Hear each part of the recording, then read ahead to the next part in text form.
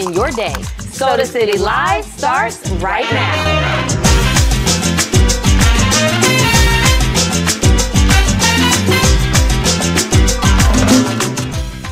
Soda City Live, everyone. We still are joined by our guest host today, James Patrick. And it's still Be Well Wednesday. It's still Be Well Wednesday. yes, James. So what are we getting into today? Well, today we're just going to talk about movement and the importance of it when you are about to gouge inside of a lot of food. okay? Yeah. It's so important to keep movement going before and after because our bodies are always able to burn food. We're always able to metabolize as long as we're using our food for the right purposes. Well, you know what, James? Uh, for people who have not had the pleasure of tuning into our show, maybe some guests are visiting Columbia for the first time. James is a fitness instructor Yes. by trade, like Yeah. that's what you naturally do. Yeah. And I know that you always just have the passion and you're always quick on your feet to hold a class anywhere. So, you know what? I'm going to let James take it away.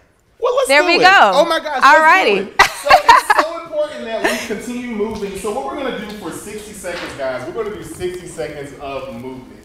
Now, what we want to what you want to incorporate is your full body. You want to think four limb movements, and we're going to think really big. So what I want you to do is get up wherever you are, unless you're driving, which you should. Is be his mic off? First place.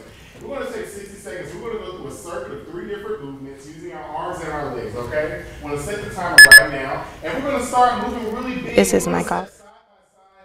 Why are these movements so important? Toward the holidays, first off, movement makes us happy. Movement makes your body happy. We're gonna keep this going for a few more seconds, and we're gonna go into a second move, which is gonna have us reach low. We're gonna reach low and tap back. These really big movements also create more circulation. That helps to increase the endorphins in your brain, makes your brain happy. We know that depression tends to onset more so toward the fall and winter months. And so that's why it's so important to keep exercise in the forefront. We got three more seconds here. This is our second move. And our third move, we're gonna do a knee tap. We're just gonna go into a knee tap. We're gonna go into that first move in just 10 more seconds. We should be halfway through that timer by now. And your heart rate may be elevating. I know mine is. We're gonna do three, two, and one. We're gonna go right back to those, that first movement. Nice job. Keep it going. And I want you to breathe in through the nose, out through the mouth. You're going to be so much more surprised to see how well your food is able to digest after you have moved your body. All right, we got three more. I see you over there, Vaughn. Let's keep it going. Two and one. We're to skip right over into those high knees.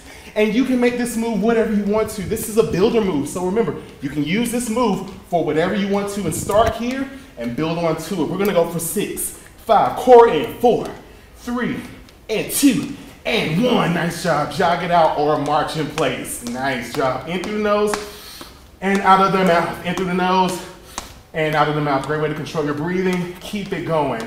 All right, we got 10 more seconds on this walk. Nine, eight, seven, six, five, four, three, two, and one. Nice job. Breathe in and out. Oh, wow.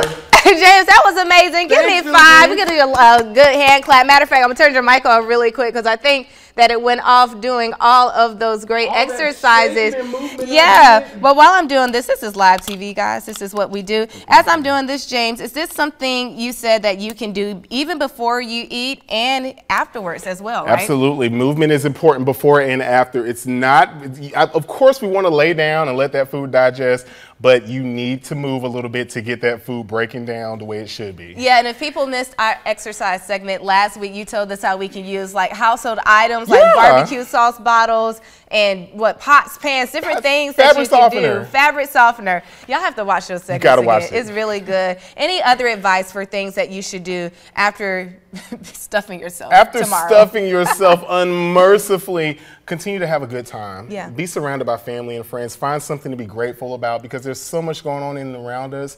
It's just so important that we immerse ourselves in that love. I tell you, love heals things inside and outside of us that nothing else can. And James, uh, I know that we always look forward to stuffing ourselves on Thanksgiving, but you have always given us the advice to not do that? Yeah, well, you know, moderation is key, and Mm-hmm. you can have everything you want tomorrow in smaller amounts. Just keep in mind the food isn't going anywhere. Yeah. Okay. Have a, have a little bit of this and a little bit of that, and continue to eat in moderation, and you'll find you won't be so miserable post meal. Yes, well, that is good information Thank and you. advice as always, my you. friend. We're going to take a quick break. Much more with James and I after this.